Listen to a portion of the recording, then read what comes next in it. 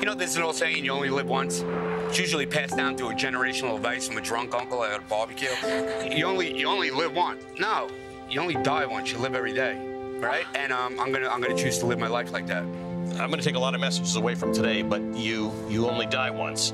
You live every day. I Damn have right. a lot of lot of years in TV, and that is the best advice I've heard. John, thanks for everything, my friend. Thank you for having me. John Feal is the president of the FealGood Foundation.